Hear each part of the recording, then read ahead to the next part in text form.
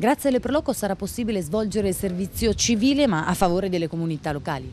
Sì, beh, questo è un bellissimo risultato che l'Umpli regionale e la mm, responsabile regionale Loredana Caverni hanno portato avanti questo progetto veramente importante. Le Proloco si sono impegnate veramente tanto e questo ne è il risultato. 23 giovani eh, potranno lavorare presso le nostre Proloco, prestare servizio civile presso le nostre Proloco, le Proloco sono 5 in questo momento, ma mi auguro che si attivino tante altre Proloco, quindi va dato un plauso alle Proloco che fino adesso si sono impegnate perché comunque c'è un lavoro dietro e stanno facendo un ottimo lavoro. E se oggi possiamo dire che nella nostra provincia il bando scade il 30 di giugno, possiamo, eh, diamo la possibilità a 23 giovani da 18 ai 28 anni eh, di poter impegnarsi per la cultura, per il sociale, penso che questa sia una bella risposta eh, anche culturale nel nostro territorio e poi soprattutto comunque 23 giovani che per un anno avranno un impiego. Questo credo che sia un ottimo risultato da parte delle Proloco e non può che rendermi orgoglioso. Quali sono le Proloco?